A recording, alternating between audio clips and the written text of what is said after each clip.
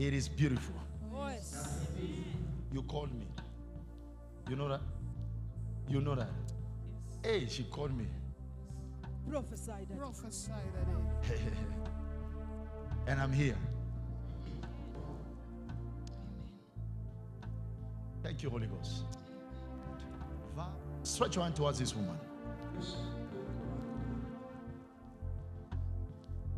Let's any garments of sorrow that has been placed over our life. Let it be dismantled. Sorrow, sorrow, sorrow.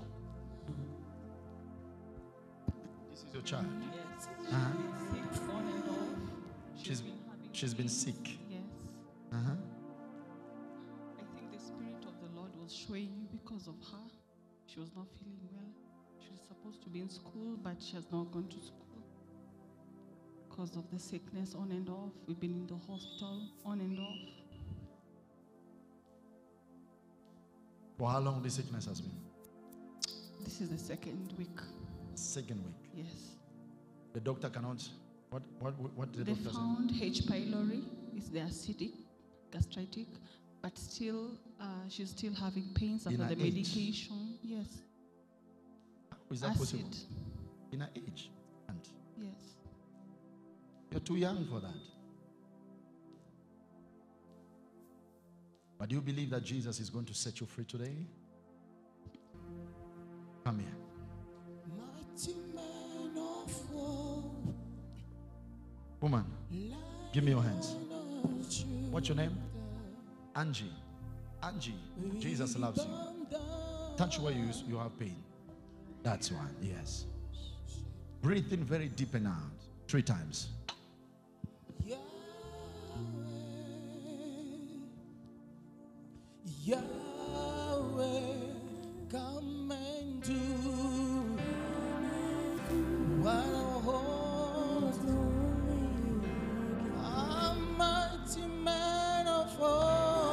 Mighty name of Jesus. Lion Out.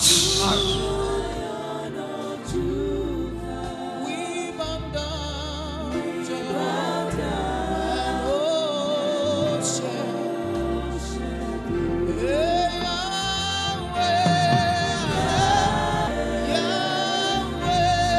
oh, oh,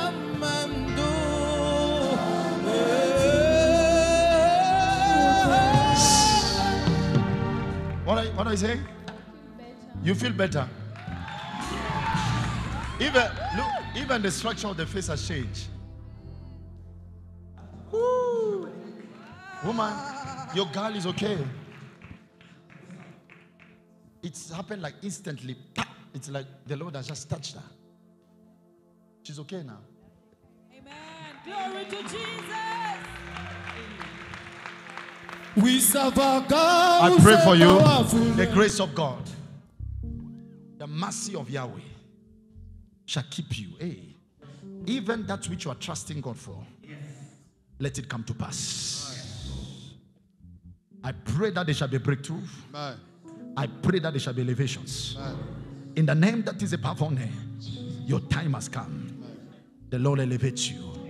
In Jesus' mighty name. Amen.